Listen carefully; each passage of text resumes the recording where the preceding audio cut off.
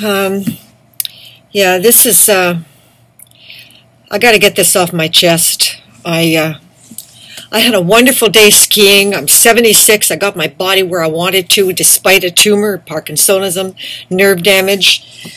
I, and I'm going to ski today. I'm going dancing tonight. It's uh, April 20th, and I've got great snow conditions. Why am I not enjoying my life? Oh, God help me. Why am I the way I am? Well, I spent 34 years fighting for human rights and so many issues in this country because it's so corrupt. This is Canada. I'm talking about Canada. And, and I'm just furious. I, I, I'm, it's just playing on my mind on top of everything else that I have uncovered in the corruption in this godforsaken sewer hole of the planet country. Mortgage fraud is being made legal in Canada. Only in Canada is it being made legal. Now, that's not a joke. But I mean, anybody can put your name on property in secret. Anybody, because my mother had her property stolen and, and we lost everything. And you know, nobody cares. Now, that couple in Brampton, I don't know if they're Hindu, but they're from India. And they had a lot of support from their community. And they got media publicity. I spent 17 years trying to get media publicity to stop the fraud that was going on in, with my mother and, and my brother stealing her properties and, and her income. And I couldn't get anybody to lift a finger to help me. Oh, just because that's so sad. Oh, yeah. That, you know? But anyway, I, I just got to get this off my chest. I can't stand it. Why am I like this? I should have stayed in New York and day hell with Canada. Americans said to me, never mind, Trudi, Canadians get the government they deserve but I'm incapable of, of, of doing that. I'm incapable. Oh, God, why me? But here's the deal, folks.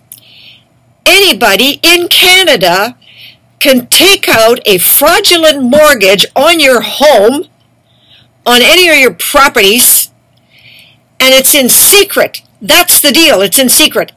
And the bank will hold you responsible and boom, you're evicted and you're out.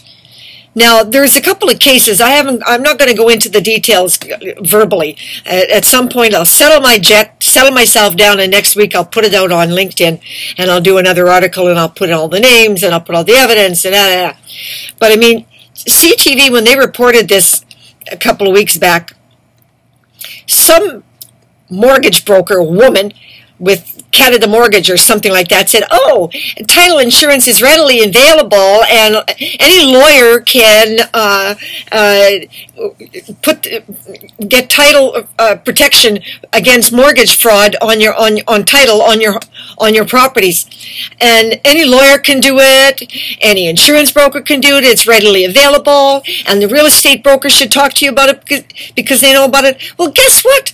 I have been at this ever since." I can't find one insurance broker in Sudbury, Ontario, or Ontario that, that covers it. Now, my insurance broker said there's a company called Stewart, and I've contacted Stewart and I've had no results, no information, nothing back. And I've, every lawyer I've contacted doesn't do that, didn't know about it, and doesn't know how to go about doing it. Well, I found something online called Plus something or other, but it's only for lawyers. So in other words, if you want it, you got to go to a lawyer. But in Sudbury, you go to a lawyer, they don't know about it and they don't know how to do it. And if you go to a real estate broker in Sudbury, they've never heard of it either. So how readily available is it? It's not readily available. My God, the, the entire police department of Sudbury is interested in finding out so they can get title insurance, and a whole bunch of people who are friends of mine all want title insurance.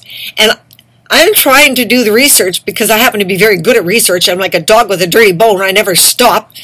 And I can't find any title insurance for anybody because it's just not readily available.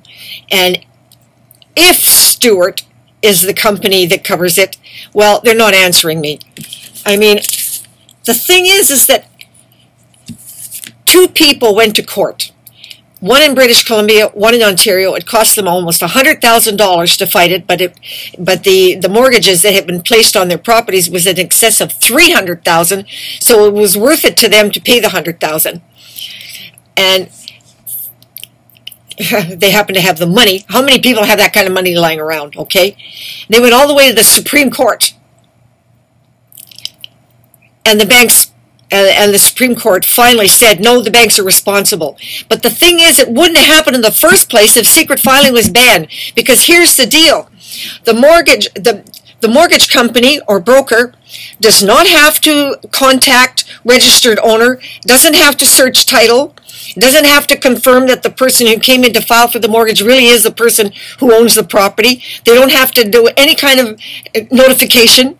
They don't have to send a registered letter uh, notifying registered owners that somebody has applied for a mortgage. Okay, that's not in the law. In the law in Canada, you can file it, don't notify anybody, and it's in secret.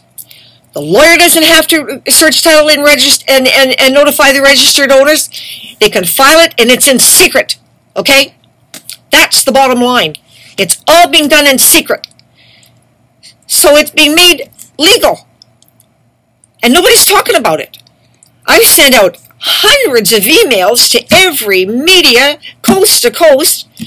I, I'm slapping mud against the wall. I'm starting to send out to people I shouldn't. I just got shit from a woman, manager of extended care at York uh, nursing home. I didn't intend to send it to her.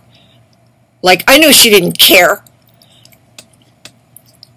but it was an accident. I was just so busy clicking, clicking, and and I sent out over and over again to our members of parliament and to the premier of Ontario, and nobody gives a damn. It's just continuing, continuing, continuing, continuing. This corruption and mortgage fraud is legal because of secret filing. Anybody can do it to you.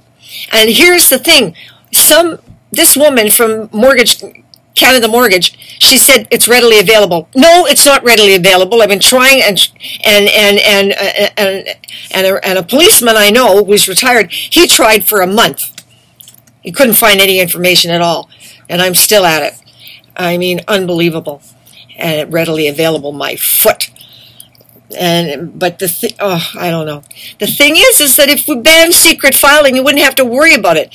The banks should be held responsible to to confirming and sending out a registered letter to the registered owner that to make sure that the person that they really is real and that it's not fraud. But they're not under any obligation to do that because you can file in secret in Canada, only in Canada, is mortgage fraud legal. Now, if you have $100,000 and you take it to Supreme Court, the judge will probably find in your favor. That won't get you your $100,000 back, okay? That's not going to change the law. Oh, God. Why did I ever leave New York? Why did I ever come back to this godforsaken country? Americans kept saying to me, Trudi, give it, leave it, forget about it. Canadians get the government they deserve. Oh, what's wrong with me? Why do I keep trying? 34 years I've been at this. Well, no, longer than that, my whole life. Uh, I want to get some sleep. I want to go skiing. I want to go dancing. I want to have fun. I deserve it. And it's playing on my mind. People, wake up! Oh. stop, stop, stop, Canadians. Listen, listen, listen. It's not a joke. Mortgage fraud is so common in Canada, it's rampant. Anybody can put their name on title to your home in secret. Anybody can sever joint tenancy in secret. And anybody can put a, now on top of that, anybody can put a goddamn mortgage on your home in secret and your properties. And real estate brokers, I got two of them that do care, but they can't do anything about it. I don't have any members of parliament that care. I don't have any politicians that care. I don't have the Hindu community or the Christian community or the Buddhist community or anybody out there helping me to ban secret filing and stop all this fraud and property theft and embezzlement of estate funds. Oh, that's a whole other issue. Wills and estate. Um, check my website. You can cover that one. I don't want to talk about that right now. But I'm just, oh, God, give me a break. Brain, stop, stop, stop. I can't just, don't know what it's going to take. What's it going to take? Oh, man. Mortgage fraud is legal in Canada. Secret filing is the cause. It must get banned. It's banned in every other country on the planet. Wake up, people. I don't know what it's going to take. I don't know. Anyway, had to get that off my chest. Maybe I can get some sleep. Sewer hole. It's a sewer hole of corruption. What makes it worse is you're sitting on your apathetic butts and you're doing nothing. Why me? What's wrong with me? Why do I care so much? I don't know. Psychiatrist once asked me that question. I said, I don't know. But I can't sleep and I can't eat if I don't fight. I have to. Something in me from the universe just forces me to.